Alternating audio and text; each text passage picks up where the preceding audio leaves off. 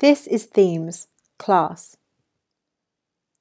Before we begin, let's discuss what class means and look at why it is relevant. The class system is the division of people based on their economic and social status. This means the splitting of people by how much money they or their family has and the kinds of people they interact with. In Britain, the class system is most easily split three ways upper class, middle class, and working class, but there are subsets of these. At the time an inspector calls is set, one's class was largely determined by one's family. If you were born into a middle class family, for example, most probably you would remain middle class your entire life. It was rare but possible to move up the social ladder if, for example, you started a successful business and came into money. J.B. Priestley thought class was a damaging idea and led to the mistreatment of the lower classes. To Priestley, if people are given more wealth and power, they will nearly always use it wrongly and fail to take on any social responsibility. Let's have a look at the classes of our characters. At the bottom of the social ladder, we have our two working class characters, Eva and Edna. Because they are at the bottom of the ladder, they enjoy fewer luxuries and are treated poorly in comparison to the other characters. In the middle of the ladder is Arthur.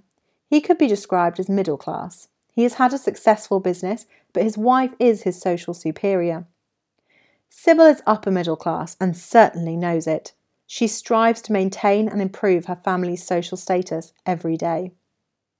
Sheila and Eric sit in between their parents at a very privileged position. Finally, Gerald is upper class.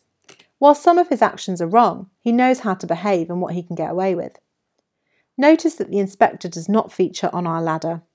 While a police inspector would generally be considered middle class, Inspector Goole would probably prefer to be excluded from matters of class altogether. Let's look at how the theme of class relates to Arthur Birling. Just after the inspector's entrance in Act 1, Arthur says, I was an alderman for years, and Lord Mayor two years ago, and I'm still on the bench, so I know the Brumley police officers pretty well. This is an important quote because Arthur is trying to use his social class to get the inspector's favour. Arthur seems to believe that showing off about having positions of authority will prove he is of a high class and therefore encourage the inspector to leave the family alone. This suggests he has done this before, giving us a good example of class privilege. This means using one's social class to one's advantage, where a working class person couldn't. However, the inspector remains unmoved by his attempts to impress, probably because this is the very reason he wants to teach the family a lesson. Sybil Birling is the most obviously classist character on stage. This means she sees working class people as below her in every way and feels no guilt in treating them badly. She is the chair of a women's charity, but this is only because it brings with it class status. She feels she is in a position to judge those in the lower classes and give or take away life saving help based on her own prejudices. Of Eva, she says, as if a girl of that sort would refuse any money. She is referring to Eva, who claimed not to be receiving help from the father of her child because she couldn't take the money. To Sybil, working class people would take anything they can get, regardless of whether they are stealing or breaking the law. However, the fact that Eva did not steal the money shows us that Sybil's ideas about working class people are wrong. Sybil is a perfect example of the idea that class breeds corruption. This means that the class system encourages people to act unfairly towards each other. She has been given an opportunity to help those in need, but instead she uses it to cast judgment on them and exercise her power. Because of her class, she behaves in a morally corrupt way, showing us how damaging Priestley thinks class is.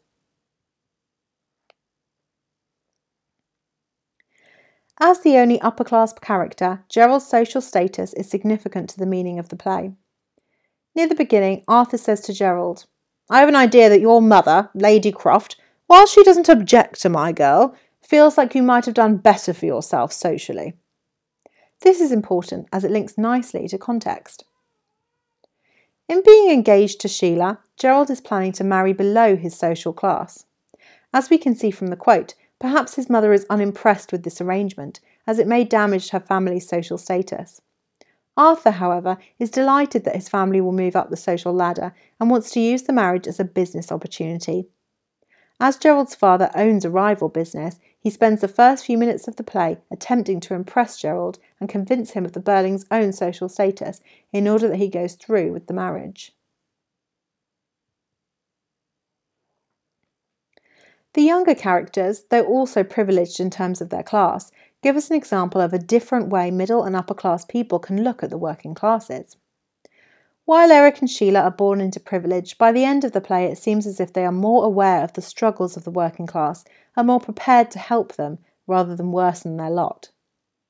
For Priestley, the younger characters represent a future in which the class system is no longer relevant or useful to society. Sheila and Eric feel compassion for Eva and see her as a human, setting them apart from their parents. This links to AO3, where you get marks for tying context into a play's characters and themes. Priestley wrote the play 30 years after it was set, in a society far less concerned with class due to the world wars. Because of the severity of the wars, they acted as a sort of leveller, meaning that people began to see each other in a more equal, more human way. Priestley uses the younger characters to give the audience hope for the future. If we are looking at class in the play, it is very important to look at the portrayal of the working class characters. The only working class character on stage during the play is the family's maid, Edna. She goes largely unnoticed, has very few lines of dialogue, yet she serves the Birlings throughout. While Arthur addresses her by her Christian name, Edna, she refers to Arthur as Sir. This is because of their classes and her position as a servant. The arrangement is naturally unequal. However, the most prominent and important working class character in the play is Eva Smith. She is a symbol for the working classes as a whole. The miseries she experiences are examples of common experiences for the working classes, meaning that what happened to her was not unusual or remarkable. For J.B. Priestley, the mistreatment of the working classes is the main reason the class system is harmful. He wanted his audience to recognise this through these characters and what they have to experience.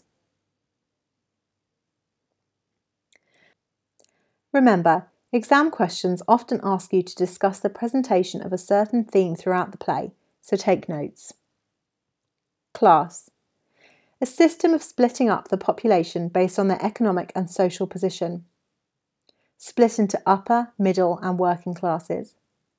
Arthur and Sybil seek to improve their social position and use it to exploit others. Gerald has the highest social status of all the characters. Eric and Sheila represent a future in which class is less important, and Edna and Eva are working class and stand as examples for those who are treated badly.